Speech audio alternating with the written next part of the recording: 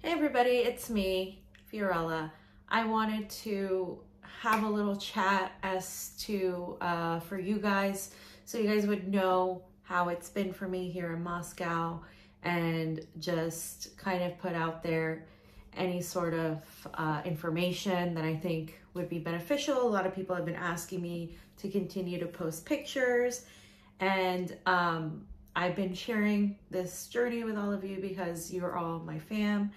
And I, this transition has actually been good. It's not been, um, it's been hectic and stressful, but mainly because of the conflicts happening all over um, the world, particularly between, of course, Russia and the United States and NATO and the EU um, with the Russia Ukraine situation that I've been talking about a lot on the show, and that um, just many of us have, have been talking about. Um, I'm very happy to be here with some colleagues that I've known um, and that I'm hopefully meeting up with soon. And I am also happy that uh, there are other uh, Americans coming on this journey with me. The reason because it's so diffi- difficult and different for us um, because of one, the language barrier. Two, uh, I think actually the language barrier I think comes second to the uh, sanctions and the effect of the sanctions. So because of the sanctions that the United States has placed on Russia, many companies left Russia and were forced to not do business here, including the uh, Visa, MasterCard companies, the banks, uh, essentially. So the Visa and MasterCard companies still have an ability to be here, but the issue is actually the banks. So Sberbank is a sanctioned bank, and that's the bank that Russians mostly use. And so that bank is the one that you have to get a card on in order to basically do um, much of anything here. And so it, it's the largest bank. I think there are definitely other banks you can use, but that's the one I'm using. Um, and basically, a lot of the banks that worked with Russia decided to not work with them anymore. And so the uh, Russians are able to use a Visa and MasterCard, but it has to have a Russian bank account to it. I can't come in with, say, my Bank of America account or my digital credit union of sorts and say, hey, I'm going to purchase anything with this because it's automatically rejected by the United States and Russia also. So it's this situation that we're in. So it's really, really difficult to find ways to say send money over to the United States to my other bank account in the United States to say pay for whatever I need to pay for, whether it's a credit card or whether it's student loans, um, which a lot of us have. And so um, it's been that part I still need to resolve.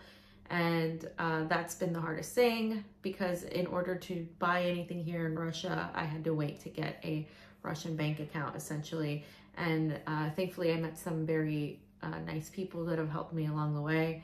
And our, tea has been nothing but great in terms of just helping us, helping guide us through this process. And so um, that's kind of what I wanted to get out of the gate, that the sanctions are obviously hurting a lot of people uh, initially. They hurt the Russians, but the ruble, as we all know, has bounced back. The ruble is at an all-time high, which is good for Russians, bad for us um, Americans, but it's uh, good for them. And I think the uh, the situation that the United States and NATO tried to create has backfired on them, and Russia is doing really well.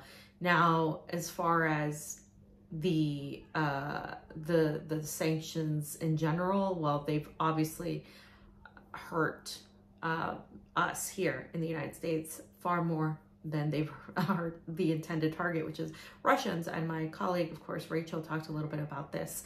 Um, and it's this situation where, like, we cannot use our money essentially. And that is just a very small fraction of what people who have been sanctioned by the West experience, right? Uh, people in Venezuela, the people in Syria, the people in Iran, the people in uh, any country that the US has sanctioned have been feeling this for far worse than anything I've, I've experienced. But just this, the, the little bit of fraction where you have some money and you can't use it is extremely frustrating. And um, ways to circumvent that are going into another country and opening a bank account or opening a bank account that hasn't been sanctioned or um, using crypto. Now, crypto is obviously has obviously tanked, but let's say you buy it at the regular uh, amount, you could potentially use crypto. I haven't tried that yet. I will let you guys know how that works out, but I hear the fees are very high and stuff. So um, that's been an issue. Also, things like trying to buy a Russian cell phone. A lot of the companies left trying to buy any sort of like iPhone related American thing. It's very difficult if there was something wrong with my iPhone. Um, the any sort of American product that used to be here, got, like a lot of them gone. Um, you can't find them. IKEA gone. Um, just normal things that would have been useful to to have right now I don't have them, and neither do does do Russians. So it's it's been um, difficult in that sense where you know I can't just go and get something familiar, but it's also forcing me to look at other things and see how how people have done things here. Clothing, as far as for work and stuff, I haven't you know been able to go and get it, but thankfully some of that is uh, helped out. And just shopping with a language barrier, Google Translate is is good. There are other apps that have been really useful to be able to translate. One of these apps is called Yandex Translation, and Yandex is like they have a Yandex like taxi, they have a Yandex like food thing. It's like everything here, and it's like their Google sort of. Um, and so I've been using this Translate app because I wouldn't, it, has been, I, some places don't, a lot of people here don't speak English. And even though it's Moscow, a lot of people, even if they do speak English, it's very like not, it's limited. And so I intend on taking classes as soon as I can and as soon as my work schedule gets situated.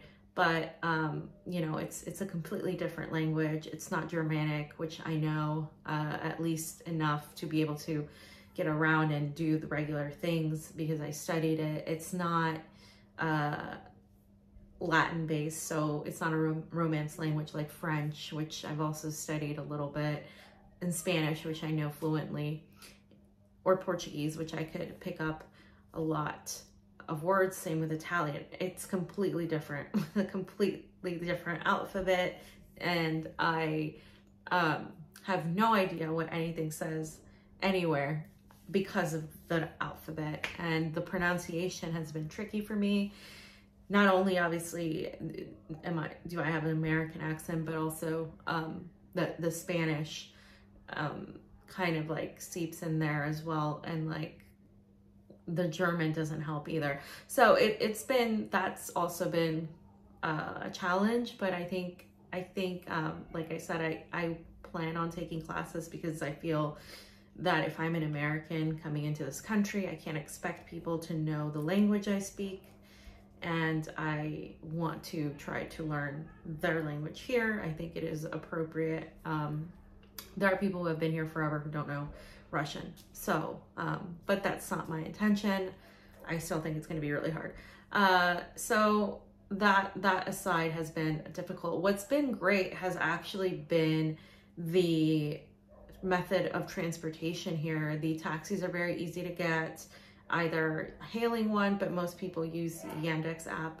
Uh, and of course, Uber is also one of the companies that left. You can see old Uber uh, taxi things, uh, the little logos. Um, there's also the um, trains, both the trams and the metro, and then the buses those last three are so cheap and so effective.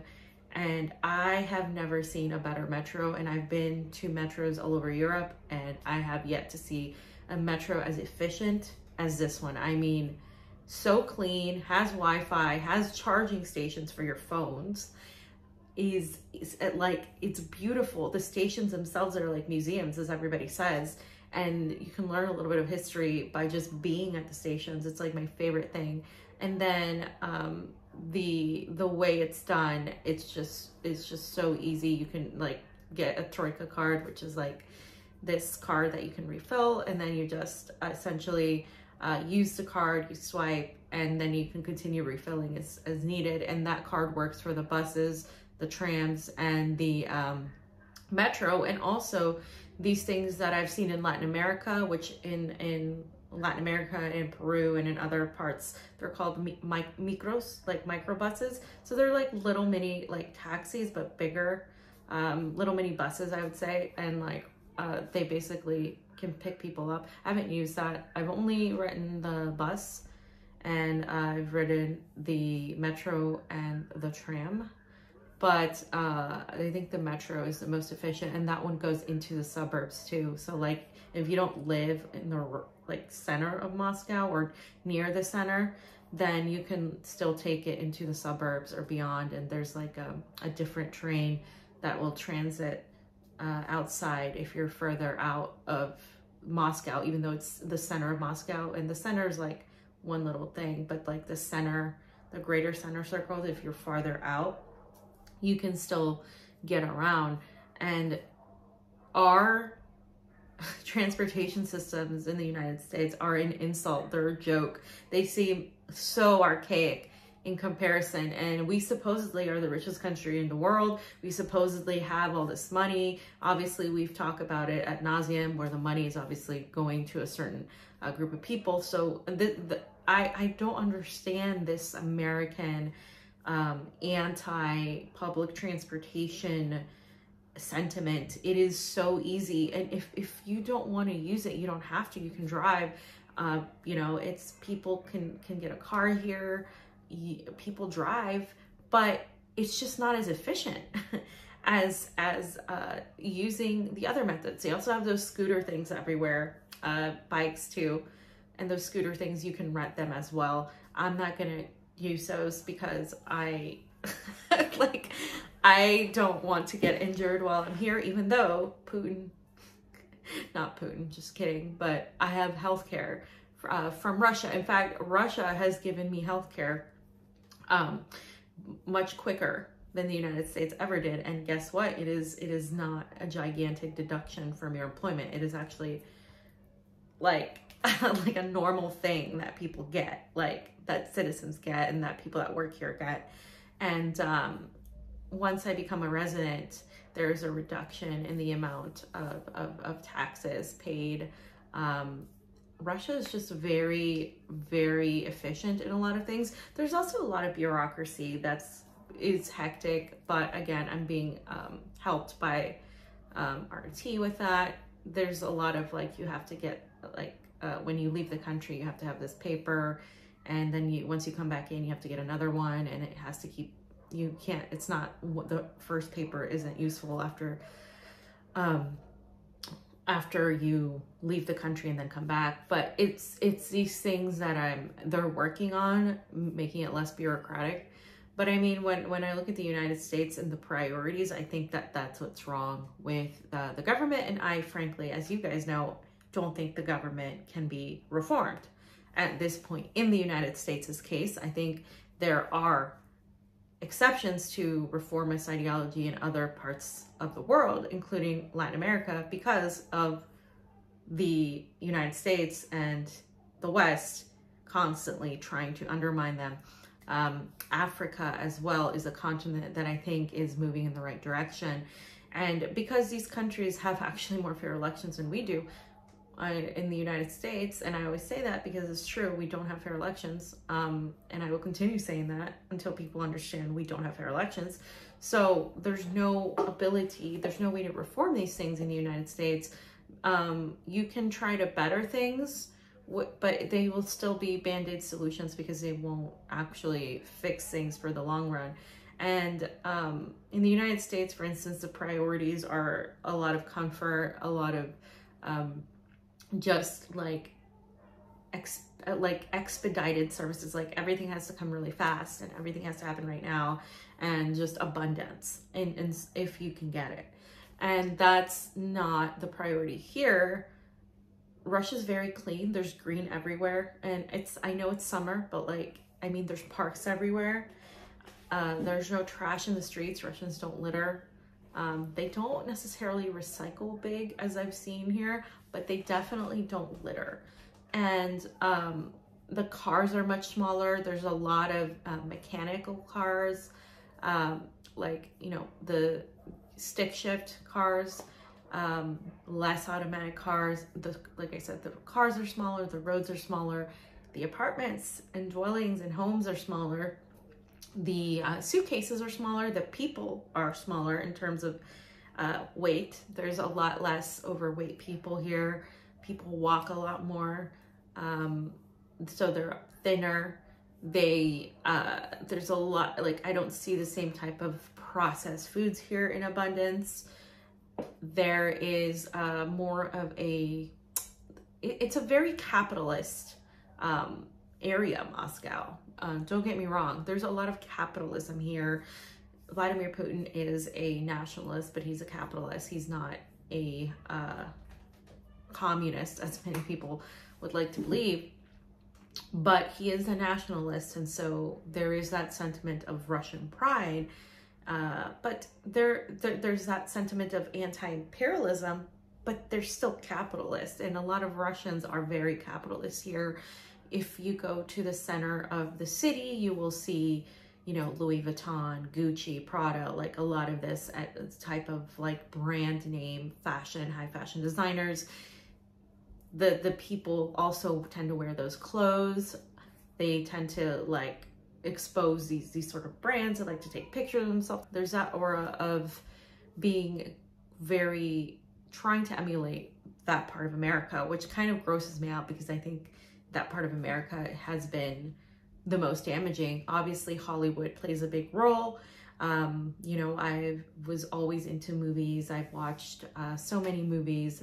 I don't sit around and quote them like Pasta does, but I I understand the allure of Hollywood. I understand why people see that and they're like, wow, it's so cool. Like a lot of people want to come to America still because they think they have this idea that this is how America is. And I tell them, that's not how it is at all. That's that's a fantasy. And um, you know, even living in LA, there's so many beautiful things about LA that I experience, but there's also a lot of ugly things like the poverty, like the the ridiculous rent prices, like the brutal police force, um, the just injustice against the people, and that's never shown in Hollywood not to the real extent that it actually it actually exists because then people wouldn't want wouldn't have that ideal image of the American dream which is essentially dead. And so that's what has been exported into Russia a lot. And that European you know sense of of, of capitalism where people like to to wear these high-end uh, designer brands. And so um it's it's very interesting to juxtapose that next to the old statues of the Partisanos in uh, the metro, the uh, old USSR buildings, the USSR factories that are now restaurants, bars, or an RT studio, for example, um, which is true. And so there's there's remnants of the USSR. There's like the, the, the Lenin Mausoleum. There's, you know, Red Square. There's all these murals in the metros. There's Victory Park, which is um, the uh, large World War II museum where they had the the uh, just a memorial to those who defeated the Nazis. And I didn't get to go into the museum. I'm going to go back but I hear it's a great museum and the park was just really cool with lots of statues, lots of symbolism. And uh, you juxtapose that and, and right next to um, the, the capitalist sense. And it's very interesting. There are definitely, uh, there's definitely lots of Russian pride. There's definitely lots of um, people who are anti-West and um, there's also people who are very pro-West. In fact, there's a lot of people who love Americans who, like I said, just want to know more about America, want to, you know, know about the movies and the music. You hear a lot of American music too here.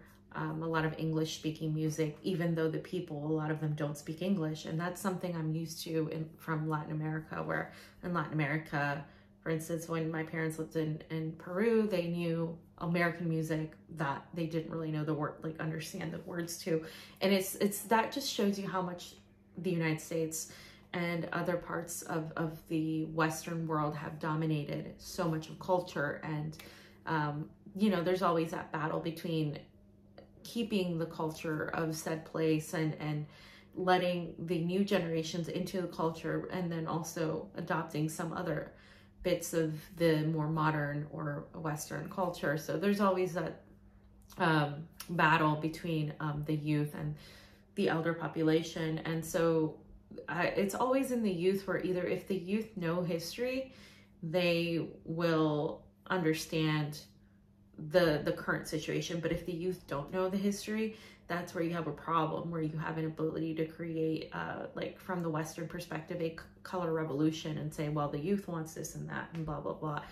Uh, so there it's definitely mixed. I mean definitely uh, the further you get from the center and the, the, the the further you get from the more touristy areas the more uh, people are a little bit less uh, i would say focused on that aspect. And uh, I think also this conflict has shifted people's minds. And um, if you go to rural areas, is what I hear where you have like more salt of the earth, more of an anti-imperialist, anti-Western perspective than within Moscow itself. And that doesn't surprise me because that's exactly how it is in most of the world where you know the capital cities are largely westernized and then the outer skirts are definitely more of the revolutionary uh, areas. And so i hope to explore more, more, of moscow. I hope to go to st petersburg where the architecture is beautiful as i am a fan of uh, beautiful architecture um, and museums and that sort of thing.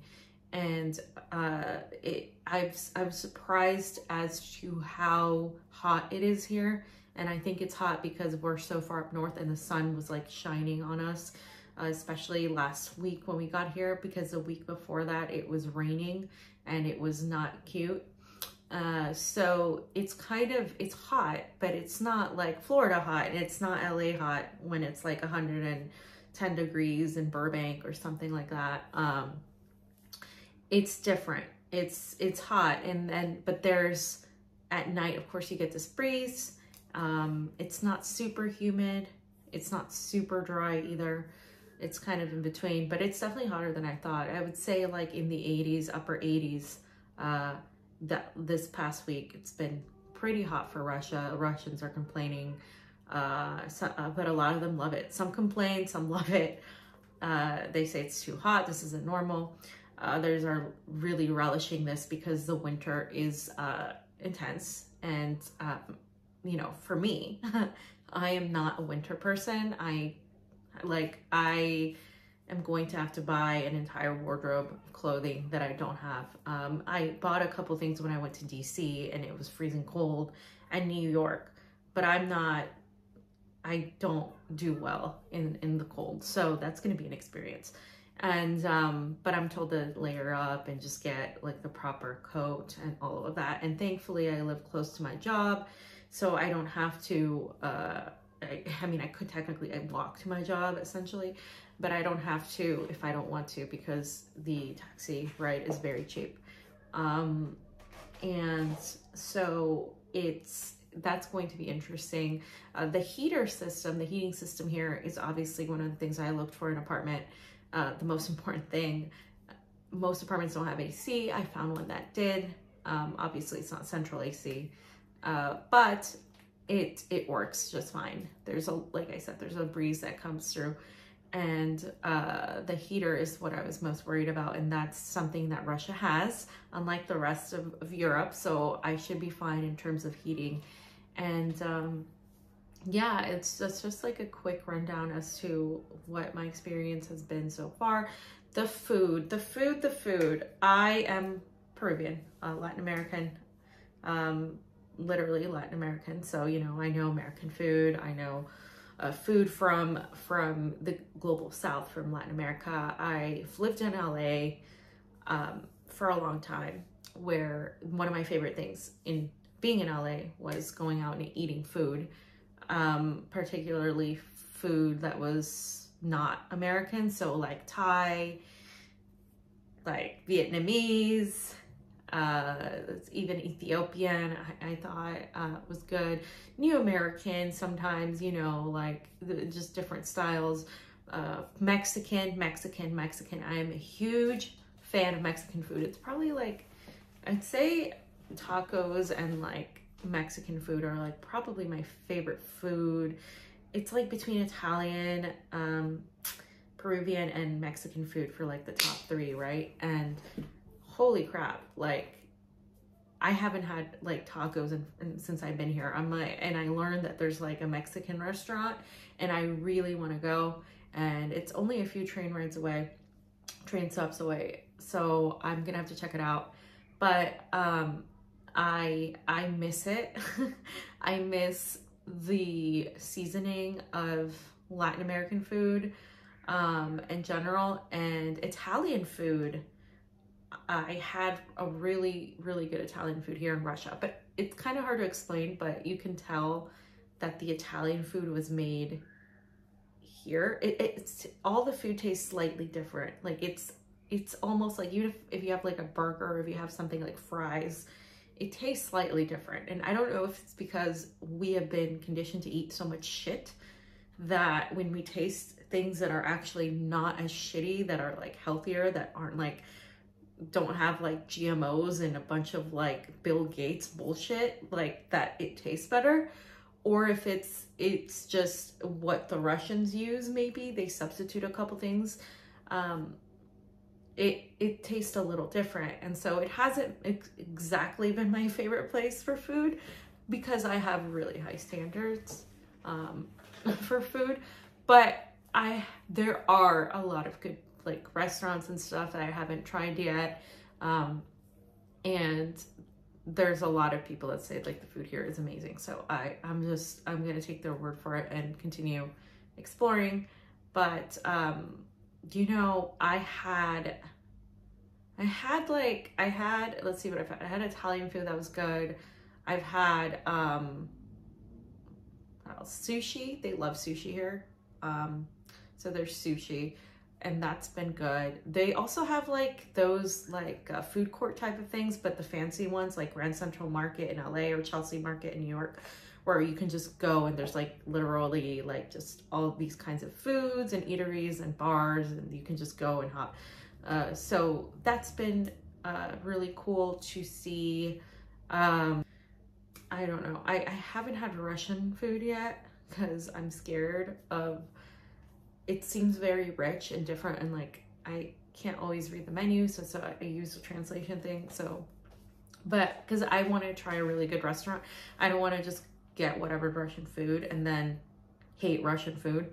Because I had like I tried Georgian food and it was like okay it like it wasn't necessarily my favorite but maybe it was just the food like where I had it but it was it was good. It was kind of like pizza. It was like this bread thing that was like cheesy, but it wasn't like I don't know. It wasn't like the the most uh delicious thing I've eaten either. But I think it depends on where you you go to.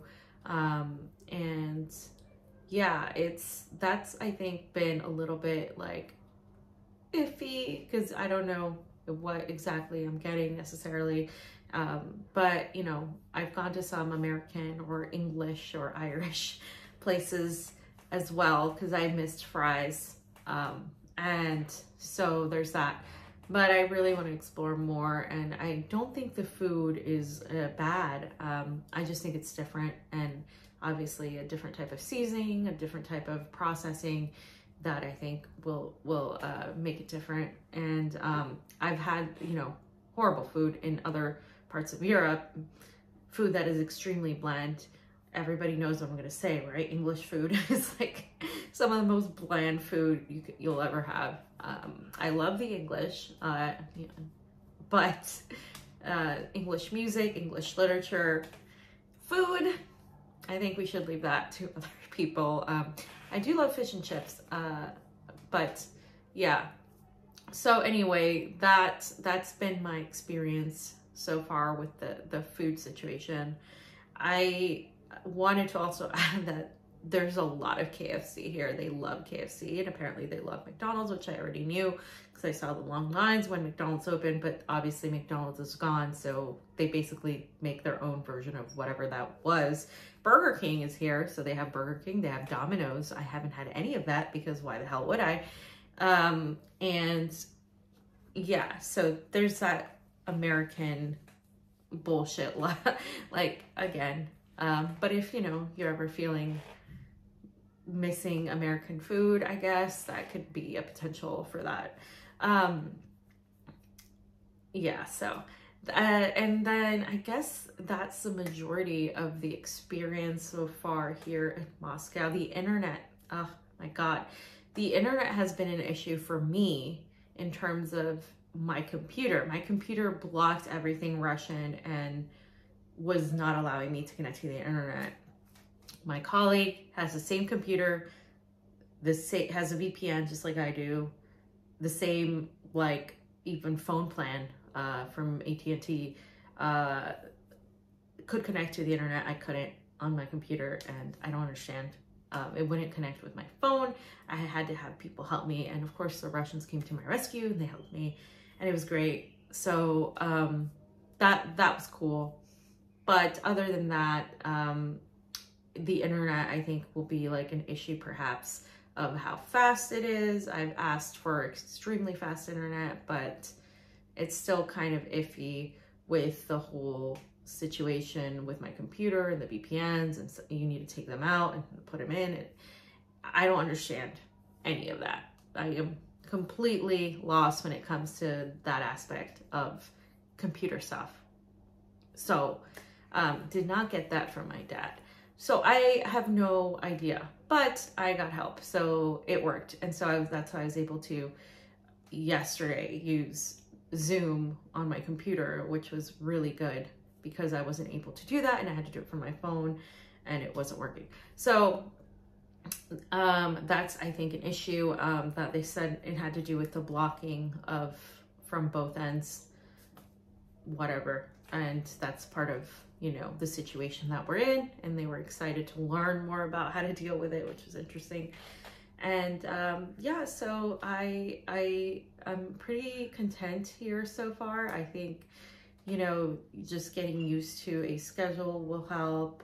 Um, the, the language situation, of course, like I said, and um, the time change, of course, has taken a toll. I mean, it did, it will get better. Um, I basically had to, I've been traveling so much that my whole circadian rhythm has been screwed anyway for a while. And so, you know, when I, I was like the East Coast, then I was in the West Coast, and I was in the East Coast, and I was in the West Coast, and then I was in Latin America, and then I was in Turkey, and then I was in Russia. So now it's kind of, and I traveled a lot before I got here. It's not like I wasn't traveling and then I just came here. It was like I was traveling everywhere and then I got here. So it's been this whole situation where um, I've had to really deal with trying to rest a little bit and I still have so much more to do, but it's just been difficult trying to get acclimated. But honestly, like, because it's, it's summer here, that's another thing. The sun doesn't really set. Um, Like the, the sun, the, the sky never gets really dark at all. And it'll be like 10 and it'll just be like getting dark like it'll just start getting dark and then like 11 12 you'll you'll still see like it'll be dark but it'll it will you'll still see like the the blueness to the sky and then by like 3 30 4 o'clock there's light again it, it's if obviously we passed the solstice the summer solstice so it's gonna start uh, we're gonna start seeing less light but oh my god like you could see it's light at like 4 a.m. So I was working, waking up at 4 a.m. Moscow time because the light would just wake me up. And so that took a little bit of a turn there. Um, and my work schedule might have me waking up like at the crazy journalist hours where you wake up at like two or three, you know, you have to be on air earlier. So that, that might be part of my schedule, which will be an interesting adjustment because of how early I'll be done with work and then the sleeping aspect of it and stuff. Um, but yeah, it, uh, and you know, we're going to continue obviously doing the show, but it's just, it, it, it's really been interesting. And I'm glad I, I'm doing this in the summer because in the winter, it's a whole other story. It's the complete opposite where you only have a few hours of sunlight before it gets dark and it's like dark most of the day. So that, um, you know, I'm like an afternoon, evening, sometimes night person. Not less of a night person than I was before, but I, I just I still have um, issues sleeping in general. So that it's not even that I'm a night person, it's just that I have issues sleeping. But I've been sleeping a lot better here because I've been so tired. So I've been sleeping without any melatonin, without obviously any any other substance to help me. Um, and so I I think it's kind of working for me, but we'll see what happens when it's like 20 degrees and dark and I have to be up, you know, it's a little bit different. So um, yeah, that's what I wanted to chat with you guys about and uh, just give you a little rundown on that. And as far as, you know, the politics here in general, people are living their lives. People are are out in the streets, they're eating, they're they're going out, there there's so much life here. It is nothing like they tell you in the West. You know, Russians aren't like here, like giving me dagger eyes. Uh, Putin isn't trying to go to war with the United States, uh, but there is a sentiment of um, calm right now. It, you know, I was told a few months ago it wasn't like that. There was, you know, chaos, there was breaking news, there was this, there was that. Now things have kind of calmed down a little bit. Um, there's a lot of questions, but people are overall dealing with the situation very well with the, the changes, with the stores leaving, with the banks and all that stuff. Like they're they're very resilient and, and they're dealing with it. And um, you know, you don't really see this anti-Ukrainian sentiment either. And that's important to note. Uh, you know, when we talk about the news and what's going on, there's a lot of attention paid to foreign policy here in the news compared to the way it's paid uh, in the United States, where CNN and and MSNBC, Fox, all of them focus on the United States uh, more and don't really focus outwardly unless it is already like a manufactured propaganda talking point. They don't show multiple sides of a story. It's um, for media that is supposed to be, according to Twitter, Russia state affiliated media. Um, it seems more uh, just independent in a lot of ways than um, it, you know they say that they make it out to be in the West, um, and particularly journalists and anchors or presenters, as they know them here, have a lot more say. If they don't agree with something, they can look it up and they can sort of say, oh, I, I don't want to say this or I don't like saying this this way. CNN, you're given something and you're told how to say it. New York Times, uh, uh, there's a lot more freedom in those terms. Um, and let's remind everybody that Russia isn't the one persecuting uh, prosecuting, well, persecuting too, but prosecuting a journalist, Julian Assange, of course, with 175 years and trying to extradite him so he can die in the Guantanamo of the United States. So it's just uh, it, it's it's very hypocritical to hear about you know oh it's just state media. Well, our media in the United States is corporate owned by oligarchs. So really, I don't understand how they you know how you can even justify it, but that is a part of of what what's been going on. So I um I don't, I'm not seeing that whole um, authoritarian aspect. There's a lot of security here. There's uh, security to go in buildings. Oftentimes, um, it's it's not as extensive as say like an airport or something like that. There's security in shopping centers. There is um, uh, there's a lot of you know officers of sorts walking around and, and viewing people, but they're not like regular cops that I'm used to from like New York and LA. Uh, I don't feel that same, I don't know, like they're gonna come at me and get me in abuse and like do this. Like I'm not seeing that. Um, like I said, I want to go outside of, of Moscow and, and really see a little bit more. I want to go into Ukraine. Um, but, you know, hopefully as I have more time here, I can plan that more thoroughly. As you guys know, I don't like to stay in one place very long. I, I'm, I don't like to just be in a studio um, protected and not see the rest of the world. So I aim to at least probably use my weekends to, to try to travel as much as possible. And um, the issue is if I say wanted to go to Europe, over the weekend, it would have been easy before. It would have been easy to go to Berlin in like three hours, take a plane to a plane to Berlin. The problem is now to get back, it's the problem because there's not that many flights, and then the flights that are there turn from like a three hour flight to like a 20 hour flight, and then you're like missing a day because you have to get back, and then it's just a whole thing. And um, that is very unfortunate because you would think that we would want a world where there can be this interchange of of uh, cultures, interchange of relationships, and you could you could have you could visit Russia and Berlin, and then you could go to England, and I would like to go to uh, London for Julian and that is something I would really like to do, but it's just getting there and getting back, um, particularly, would be difficult and would probably take some time. And I can't do it yet anyway, but once I can do it, um, I'm gonna look into it. But it's just very difficult to travel because of the whole situation, and that just um, it is really unfortunate.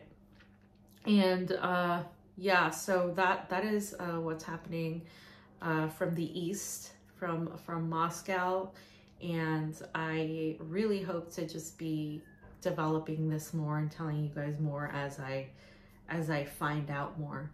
Um, and really, I'm excited to be here and absorb as much information as I possibly can because this is a completely historic time right now. What we're seeing, the rise of uh, Russia, the rise of China, the rise of the East, the rise of the global South, um, Africa, the Pan Africanism, also, of course, Latin America, Central and South America, the pink tide, all of that is extremely promising, with at the very least having some pushback towards uh, the West and their attempts to control everything. Um, I think personally, as we've discussed with multiple analysts, that there is a pushback from Russia and certain parts of China. And I, I don't think it's everybody, but I think that there is essentially within government key figures pushing back against this new global agenda. Um, and that is why the West is so infatuated with this war, with quote unquote winning the war. Because uh, we know it's not about winning the war, it's about endless war, right? As Julian said. And so this war will continue as long as the West and NATO want it to continue. And of course, as Putin said yesterday, if they of course, bring in Sweden and Finland into NATO, and then there are weapons pushed there, which the, that would mean Russia would have weapons on its border, NATO weapons on its border. Um, they're going to have to respond. And that is something we all want to avoid. We should all want to avoid. But that is something that, of course, how wouldn't they respond? I mean, they're, they're being surrounded um, with countries that were not supposed to do that. They were supposed to remain outside of NATO. And of course, so with this happening, you're just continuing to poke the flame. And um, it's just not going to end well for anybody in that case. And uh, there are people who don't care, who are willing to destroy the entire world to prove a point. Um, but I think um, what I think will happen is uh, eventually this this war will be the West is uh, New Afghanistan, the U.S. is New Afghanistan, and um, they're going to try to pretend that they have a chance for as long as they can, and then just quietly move out. The United States is currently going to Venezuela, trying to issue these this relationship uh, negotiations for oil, uh, but uh, outwardly they're still recognizing Juan Guaido as interim president. You can tell that's just facade, it's for show. Again, this is this is, you know, this is the United States. That is the foreign policy of Antony Blinken and the State Department. That's what they're going to do. Um, it's not genuine. Obviously, Maduro isn't going to uh, just take their word on anything. Venezuela and Russia have a very close relationship and the moment that we're living right now is is strengthening those relationships um ex- like extremely and there's other countries that have that similar tie to russia you've got cuba for one um, and you have of course nicaragua and uh, china is also working with nicaragua as well so you have this whole situation um, of relationships, Iran, of course, and then you have the BRICS summit that happened that we've talked about. So this is this is definitely a trend towards a multipolar world. How that unfolds and who remains in control and the nefarious and good actors is all up for determination. But I think at least there is a pushback right now, and that pushback is being utilized by nations that couldn't push back alone before via this united front against the West. And the West is going to have to fall for any real uh, progress to happen because the reason there is uh, only uh, there's a sense of uh, reformism in a lot of these countries and not full on revolution is because they're afraid of getting cooed because they have been cooed because there have been um, you know they they have the military US has military bases in their countries. Example Colombia example Honduras right where they they can't go full on okay let's join like let's go and and and join Cuba and like have a revolution against it. That would be great but you have to understand the way that that they can get a lot more done the way things say Manuel Lopez Obrador AMLO, Andres Manuel Lopez Obrador, was able to do this in Mexico and how he has navigated those waters, I think has been intelligent from a country that is right next door to the United States, right? And also, of course, the uniting bridge to much of uh, Central and South America. So that that is essentially what people who don't understand Latin American politics don't get is there is a difference between the political world in the South, in the global South, um, particularly Latin America and Africa uh, as a continent, and then um, how we do things in North America. We are not at that reformist stage because we are our government is the one doing all of this damage to these countries. So there's no reforming that because that is how they base what the economy is based off it's based off war. So there's no reforming that. You can't reform that because that that in, whole intent is to capitalize on war. And so that is irreformable. Whereas these nations they are living the results of imperialism. So there are things they can do to make people's lives better. Water roads education, all of these things that we take for granted, they don't have. And so their method, their um, their methods are different. Their the moment in time they have is different, which is why time is ripe for a revolution in Latin America and in then Africa because they they're at that stage. We are at a different stage. So essentially that is the the reason why you can't just unif- unilaterally say, oh, we all just need to do this. Um, and if you have that opinion, please go and talk to um, people who live in these countries. You, as an American, cannot demand what you think is best for them because then you end up in the same place as these war criminals and warmongers that think they have power, the that they're entitled to tell people how they should run their countries. The, the main thing a lot of these people want is the United States and the West to stop infringing on their their, their politics, to stop trying to uh, colonize them in this neo-colonial way, to, to stop extracting their resources, to just mind their own business. That's a lot of what these countries and the people of these countries want. And sure, some of them want to still have a good relationship with the United States because they're a potency. Um, but this is why you're seeing the shift to open relationships with China, particularly, and even Russia, to not be so adversarial to Russia uh, because they uh, see that the ec- economic sector is headed towards a multipolar world. It would be dumb to try to stay behind and not open up relationships, not just with those giant countries, but in economies, but also with their neighboring countries. Like, for example, Gustavo Petro reaching out to Nicolas Maduro in Venezuela. They're neighbors. Why the hell would they fight? Why that? Why would they do that? It doesn't make any sense. And so that they have more in common and things they could achieve. And so that sense of unity and pride in in in you know in South America and Central America, in Latin America, and in Africa is really uniting people just inadvertently against the the West because they're all victims of that. And that was what the BRICS summit, how it was formed. They're all victims of Western imperialism in one way or another. So the, that's just like the geopolitical aspect as to why I'm happy to be here in this moment because there's this relationship built between the global south and the east that's happening and i think it is a pivotal moment to be here and to be able to explore more of that and talk about it and see the different side of news that i get versus the west. When i'm in the west i have to look here and here. I'm able to see more of that openly.